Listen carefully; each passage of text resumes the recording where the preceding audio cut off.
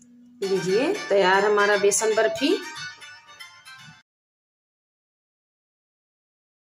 Friend आज हम बनाने जा रहे हैं बेसन की बर्फ़ी। तो मैं यहाँ पे एक कटोरी बेसन ले रही हूँ, करीब 200 ग्राम बेसन होंगे। और इसमें डालने के लिए हमने एक कटोरी, छोटी कटोरी से एक कटोरी घी लिया है। तो आइए, बनाना शुरू करते हैं। मैंने पैन को गैस पे रख दिया गर्म करने के लिए। अब इसमें हम घी डाल देंगे। और 200 ग्राम बेसन।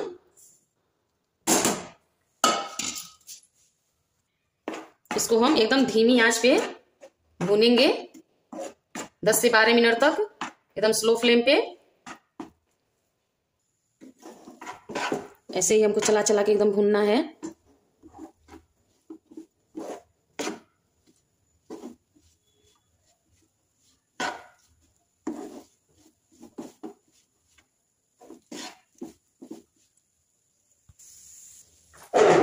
अगर आपको लगे कि आपका बेसन सूखा सूखा दिख रहा है तो आप इसमें दो चम्मच और घी यूज़ कर सकते हैं। गैस को एकदम स्लो फ्लेम पे रखना है। अगर आप गैस पे बना रहे हैं तो थोड़ा थोड़ा आप गैस को बीच में बंद भी कर सकते हैं।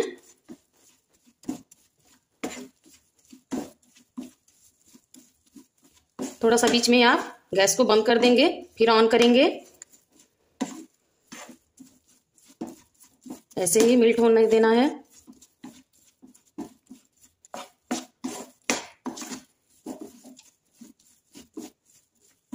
आप देख सकते हैं थोड़ा थोड़ा ये पिघलने लगा है।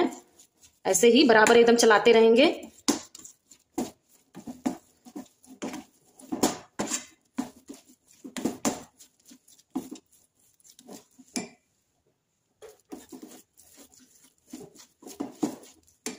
अब हम चाशनी तैयार कर ले रहे हैं। चाशनी के लिए हमने एक पैन लिया है, उसमें थोड़ा सा पानी डाला है। करीब एक कप के बराबर। अब पानी में हम एक कटोरी चीनी डाल देंगे। और इसका हनी जैसे सीरा तैयार करना है। आप मीठा कम या ज़्यादा कर सकते हैं। मेरे पास इलायची पाउडर नहीं, इसलिए मैं कूट के इलायची डाल रही हूँ ताकि खुशबू अच्छा है इससे। सीरे को हम पाँच से सात मिनट तक ऐसे पकाएँगे। अब सीरा मेरा एकदम रेडी हो गया है। गैस को हम बंद कर देंगे। बेसन भी देखिए अच्छे से मिल्ट हो गया है।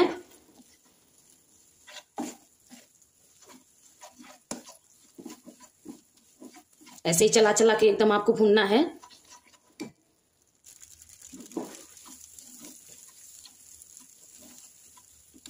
देखिए, बेसन भुनने का पहचान है कि जब मैं इसमें पानी मारूँगी तो छन छन करेगा ये।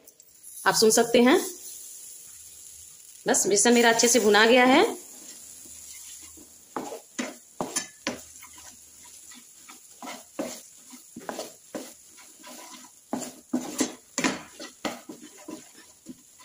एक बार प्लीज़ इस रेसिपी को आप लोग ज़रूर ट्राई करिएगा। अब इसमें हम जो सीरा तैयार किए हैं, अब इसमें हम डाल देंगे और चलाते रहेंगे। ऐसे चलाते रहेंगे अच्छे से। एकदम बढ़िया से। एक ही बार में सीरा को नहीं डालना है।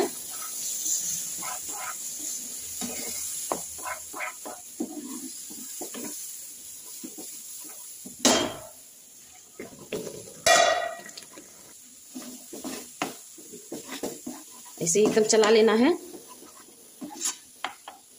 अब हम गैस को ऑफ़ कर देंगे, आप देख सकते हैं, पूरी तरह रेडी हो गया है। इस पे घी लगा के पोत देंगे, फिर इसी में हम बेसन को गिरा देंगे।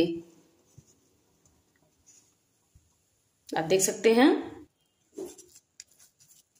ऐसे ही।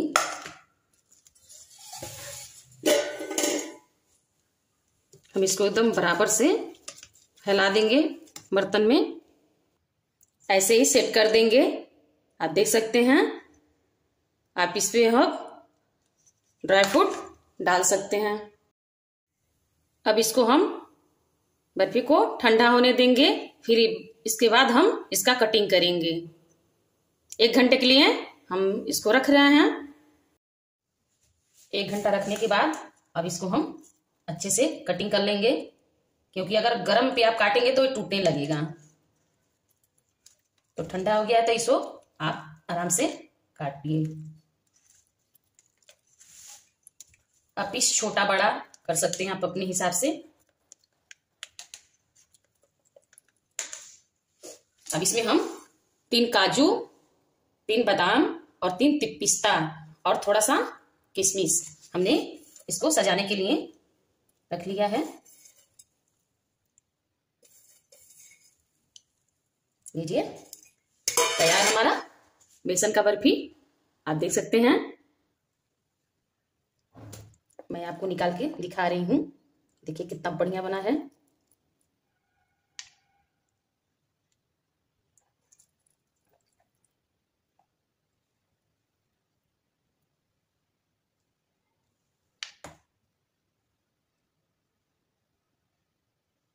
देखिए, रेडी हमारी बर्फ़ी, बेसन बर्फ़ी।